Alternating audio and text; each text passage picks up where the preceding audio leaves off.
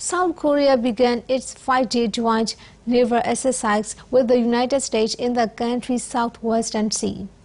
The exercise were involved the aircraft carrier U.S. George Washington, two American cruisers, one U.S. Aegis ship, as well as two South Korean Navy Aegis ships.